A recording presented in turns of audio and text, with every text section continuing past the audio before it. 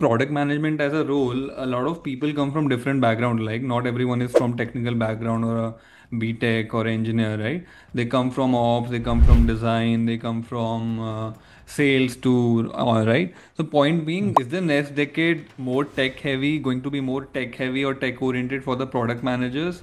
And if it is so, uh, how can a someone from a non-tech background prepare for it? Specifically, if you can tell us. As a product manager, you are responsible for the success of the product. So if you want the product to be successful, you have to understand what makes the product successful, right? So if you are employing AI in the product, right, it is necessary for you to understand what makes an AI model good. Again, measurement, how do you train the training data, what models to be used. While data science teams or the machine learning teams, you can rely on them.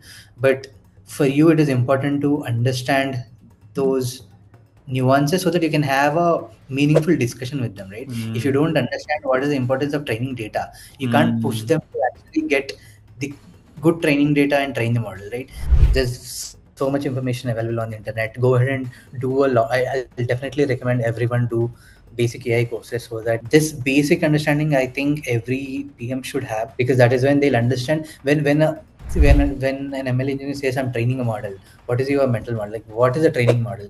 What does it look like? Training a model means to have that mental model, you understand uh, what actually is machine learning, how it is trained, and all. And the second way is like keep your ego aside. Say that you're dumb. Go ahead and talk to your data scientist. I know you're talking all of this, but it's like going through my head. Like, I teach me from first principles. Like, what is this? Yeah go ahead like accept that you're dumb. If you are if you don't have you understand certain terminology that they are using you need to have an understanding of what ai can do.